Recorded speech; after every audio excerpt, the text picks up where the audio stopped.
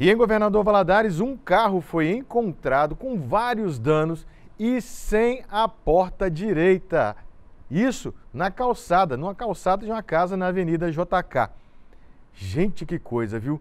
Uma parede foi danificada, o portão da casa também foi danificado e todos esses problemas aí ainda aguardava ser solucionado, porque o condutor não foi encontrado.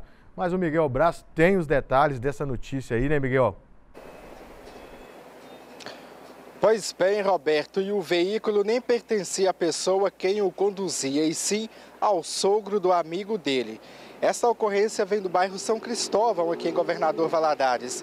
E, de acordo com o boletim de ocorrência, testemunhas contaram que após o motorista bater contra um container, ele perdeu o controle da direção, atravessou as divisórias da pista e só parou após colidir contra uma residência. Com isso, o carro perdeu uma das portas. Após o fato, o motorista abandonou o veículo e saiu do local.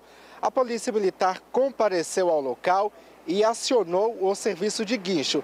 Enquanto acontecia a remoção, o proprietário do veículo compareceu no local do acidente e disse que havia comprado o veículo há menos de uma semana, porém não havia passado para o nome dele.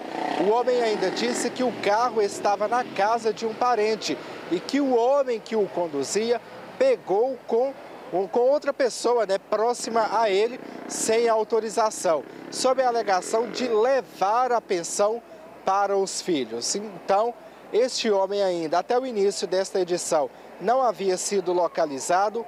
O veículo foi encaminhado ao pátio credenciado ao Detran e, claro, um prejuízo para o proprietário e para os donos da residência atingida no bairro São Cristóvão, Roberto.